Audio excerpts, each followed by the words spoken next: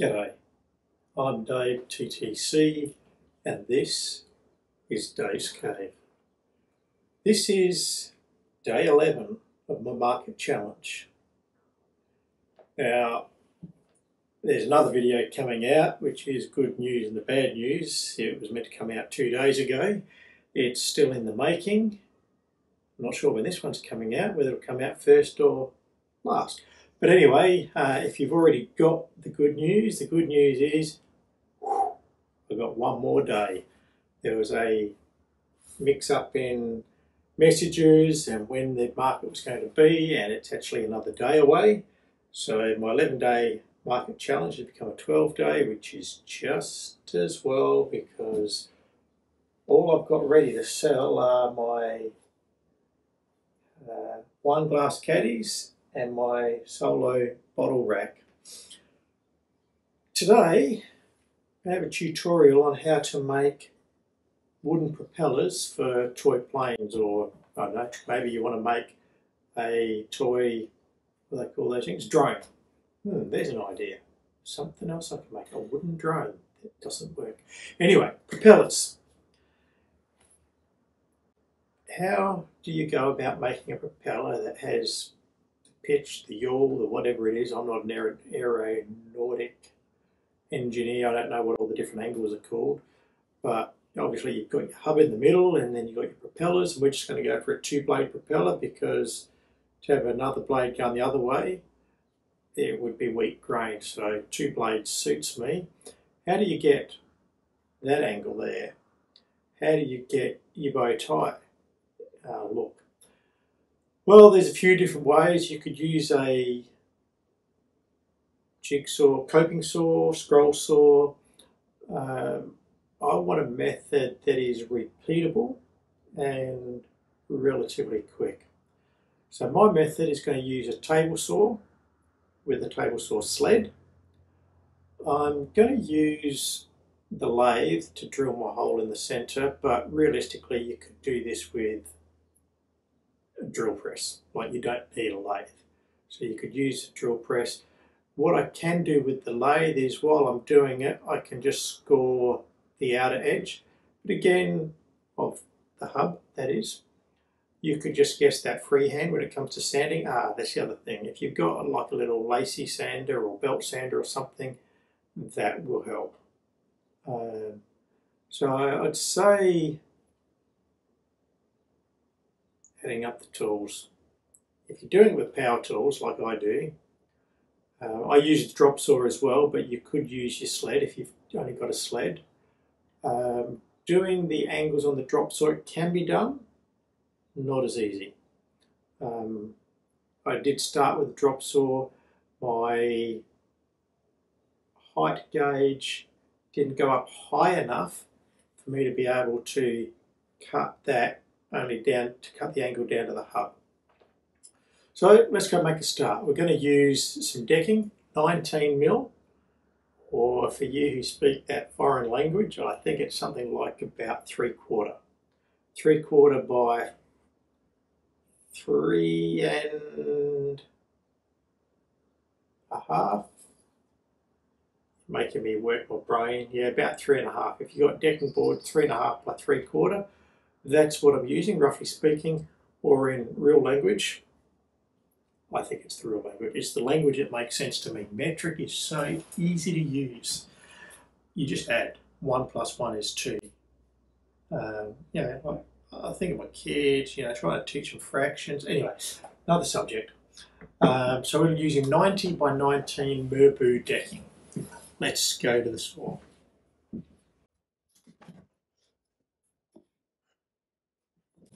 Okay, I'm going to make my propeller. I've already put a mark on here. Don't really know what it is. Um, by the looks of it,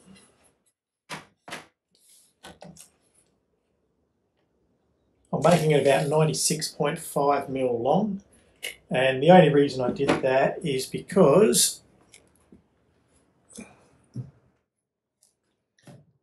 I made it the same width as the chuck, so I just put a piece in there, marked it, and then cut it. So that's the only reason. You can make it longer, you can make it shorter. you can work that bit out yourself. Whatever suits your material. But there we go, there's my mark.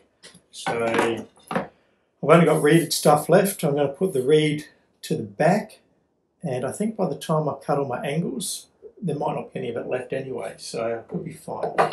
So we're just going to go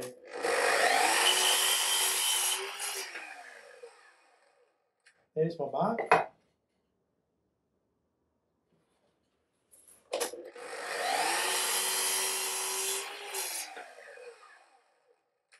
Okay, so now my propeller is going to be out of this here. There's one I prepared earlier. But I'll show you the process so that you know what I'm doing. First step is I want to cut this bow tie effect, which I rip on the table saw. Set the angle 5 degrees.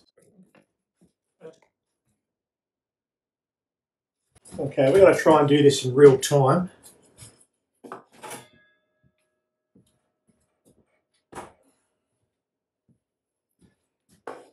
So one of the first things we've got to do is flip our fence over. And I'm going on the wrong side of the blade. I call it the wrong. Okay. Flip the fence over, we're going on the wrong side of the blade. I call it the wrong side because normally I'm on the other side. And it's just because the way the saw tips, I need to be on this side. Now I'll bring my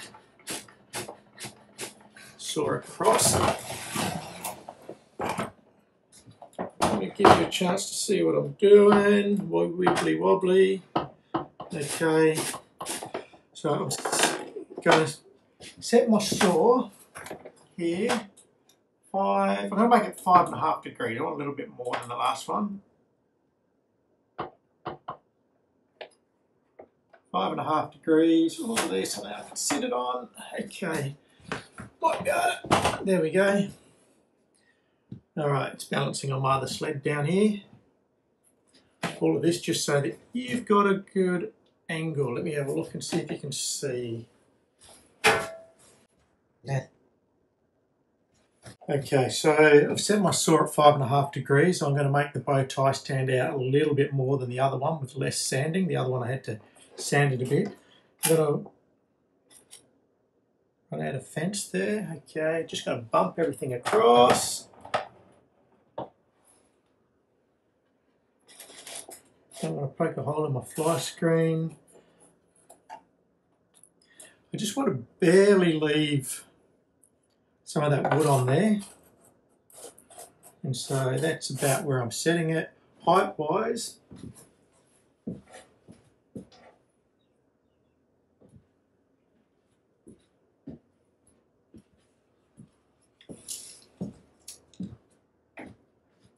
So we're talking at 96 and a half mil, 40, 80, 15, so about seven and a half mil below center of your timber, uh, roughly speaking. Uh, so in this case, my height is 40 mil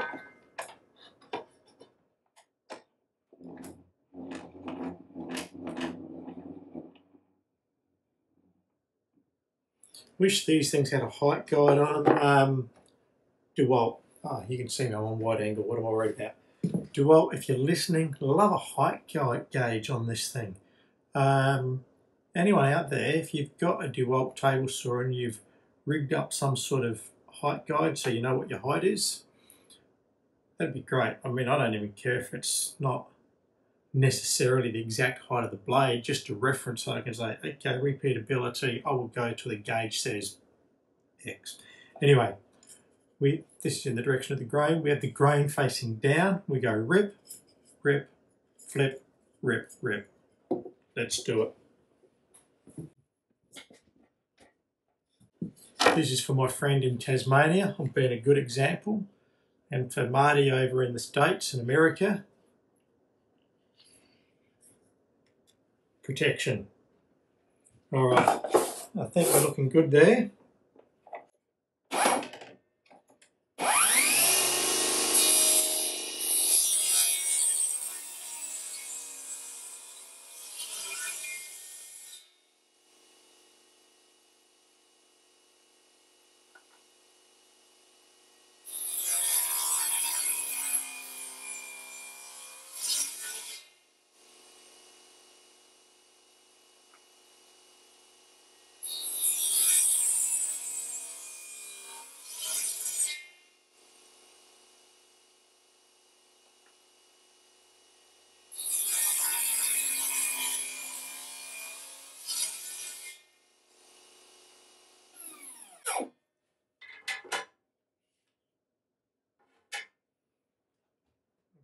Our next process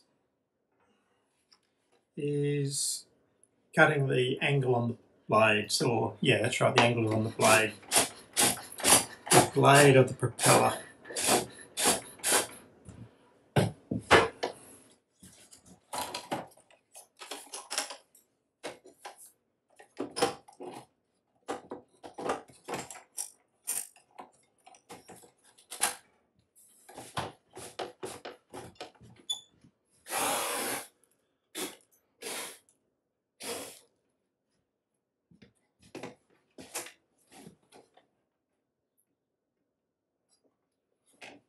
Now, once again, we're going to use our table sled.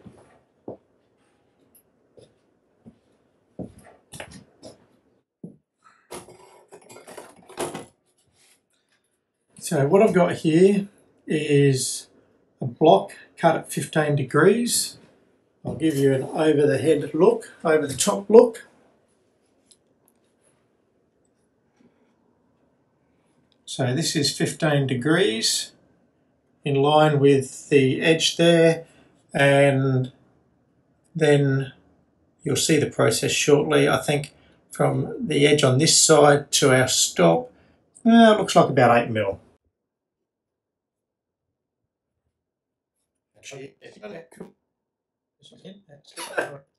Can't see the blade, but blade is right here. now for this step,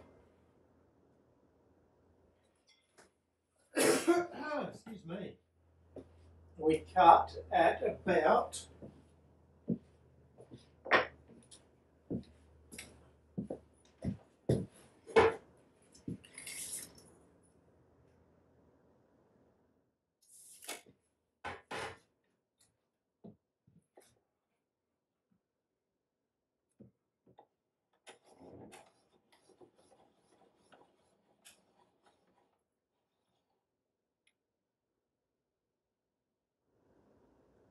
What am I doing? That cut there. Okay, just have to orientate myself here.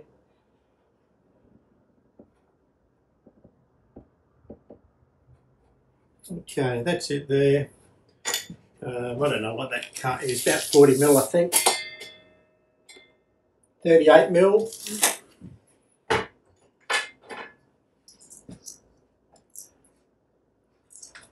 Just going to duck over to the other saw. I don't want that rounded edge on there because I want to be able to line up really accurately there. So I'm just going to trim that on the drop saw.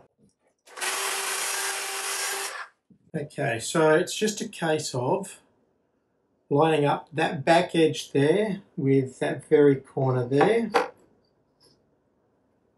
Now that I've turned this around to let you see what I'm doing, I've got a shadow which makes it a little bit harder. So I'm going to cut that slide it across, cut it again, flip it over, do the same thing, and do it again. See it in action.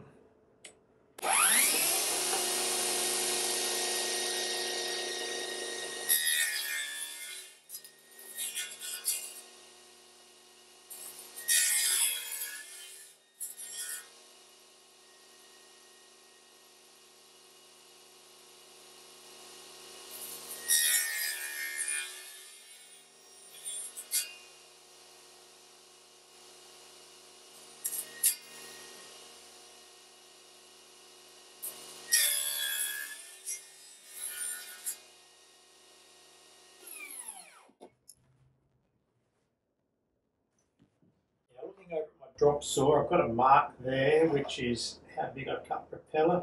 Basically, I'm just lining up with the back edge. Uh, so whatever that measurement happens to work out to.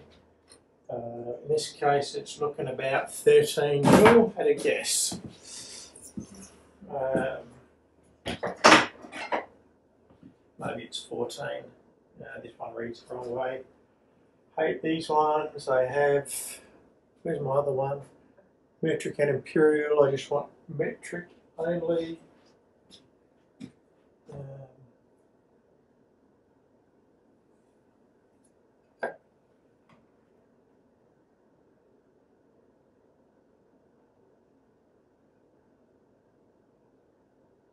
about 12.5 mil. Alright, so I'm going to pop that over there. I've got the mark.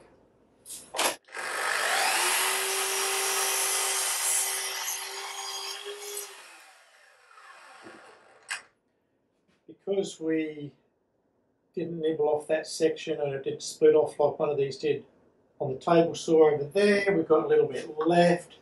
So I'm just going to nip that off.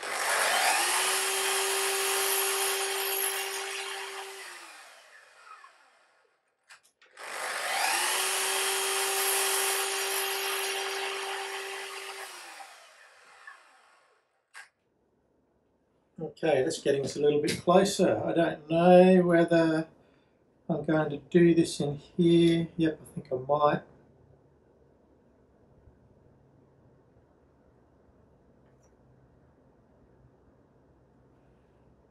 Um,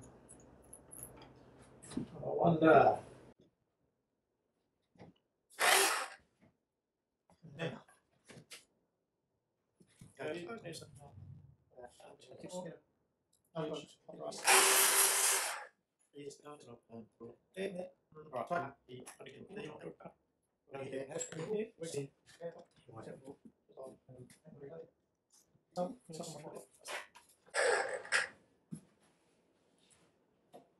All I'm trying to do here is space the propeller out enough. No, that's not going to work. Um, let me have a look. If it's back there, can I get in there? Mm, maybe. All right.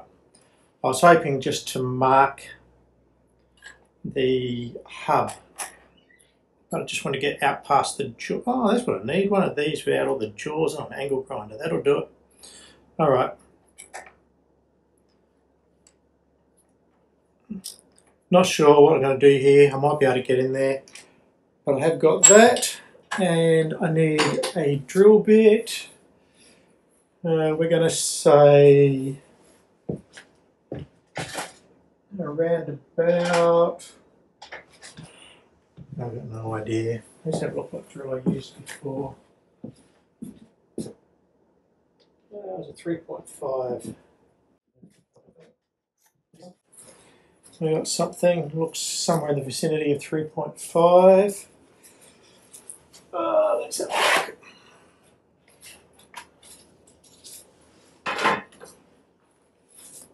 Um, okay, yeah, it was a bit bigger. It's more like a. All right, there we go. Oh, it depends where I grab it. Interesting. Aha, there's a gap in the calipers. Okay. It looks like about 4.5. I think 4.5 will be fine because the other one was a little bit tight.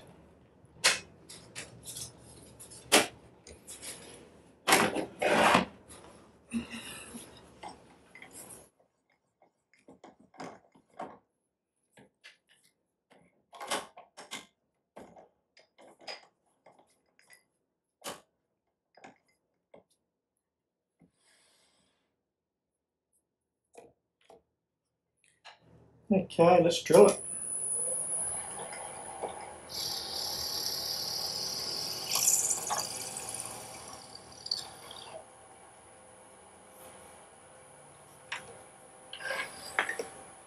This lathe is a thing of beauty, so quiet. Oh, love it.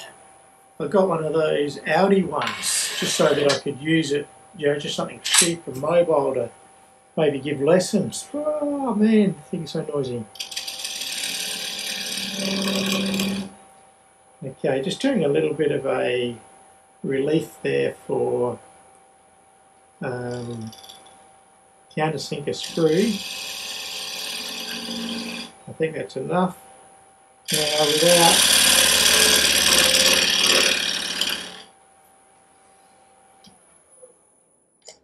let's have a look. Hmm. Okay, the hub, we can come out a bit more with that.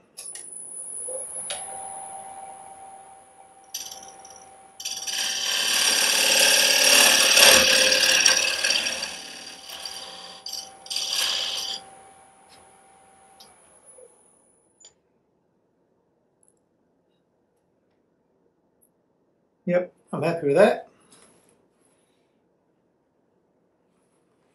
Now you could use a hole saw and a drill and just score it and that'd be enough for a sanding guide.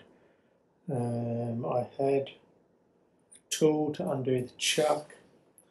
I'm going to have to come back and watch this after I upload it to know where I put it. Okay, Davy boy. Oh, yep. Down in the sawdust. Man, I can hardly see that.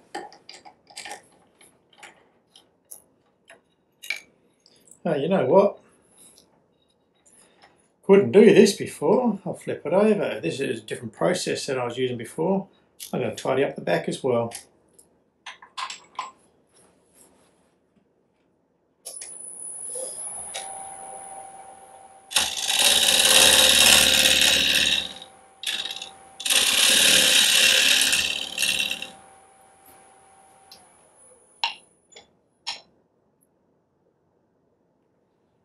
Yep, I'm happy. Yep, I'll leave it at that. Let's take her out.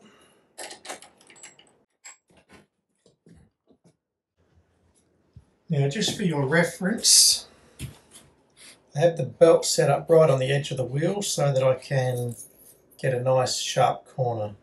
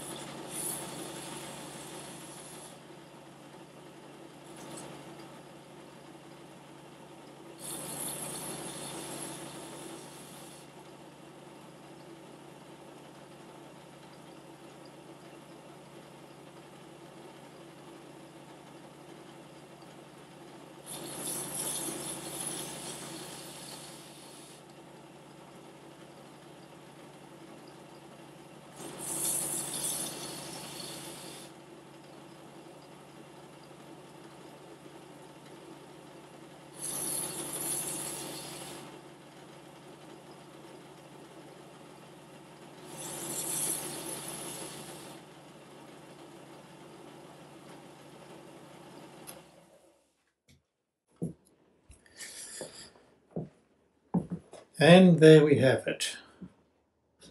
A rush job, but took a little bit longer because I was setting up each station specifically for it.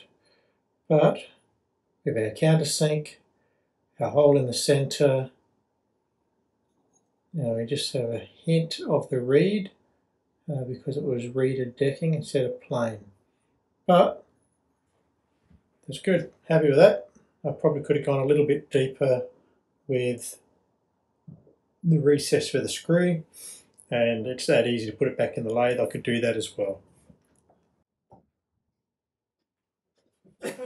I hope that's still recording. I went into low battery, so we'll see what happens. But there you have a propeller. Uh, if you're batching them out, hopefully you can do them quicker. They're quite uh, fastidious. There's a lot of work in it. Anyway, that's today's episode.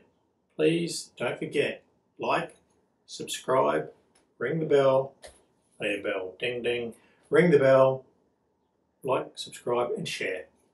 Please share it around, promote the station, tell your friends about it. You know, they might have a chuckle, they might learn something, they might teach me something. I'm not uh, I'm not immune to learning. I've got a lot to learn and if you can share things with me, more than happy to hear about it. So thanks again. See you tomorrow.